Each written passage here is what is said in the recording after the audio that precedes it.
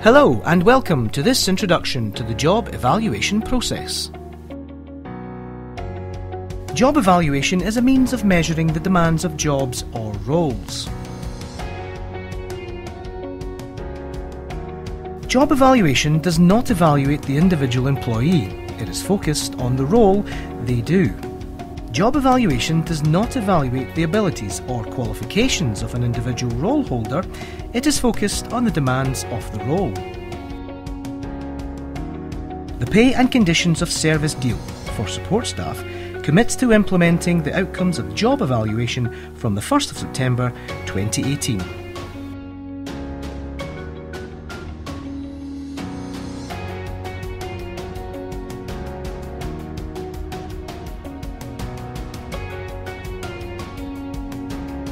Every support staff role within the scope of national bargaining will require a detailed questionnaire to be completed. Every staff member undertaking that role will be expected to input and agree to the content of this questionnaire. If you are the only occupant of your role, you will be asked to complete a questionnaire.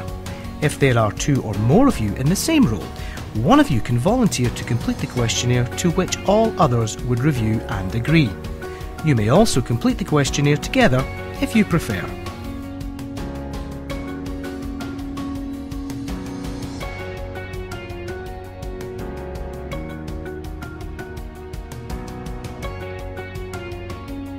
The completed questionnaire will be signed off by the role holder and the line manager when agreed. In addition to the questionnaire, agreed job descriptions for roles will also be submitted. Should job descriptions be out of date, these should be updated.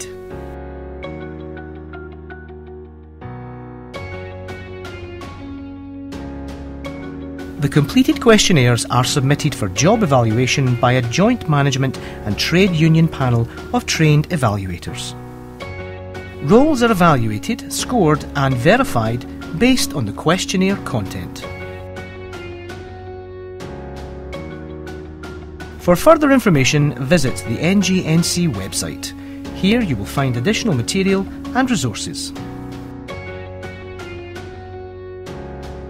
In addition, you can contact your local HR department, line manager, and or trade union representative for information.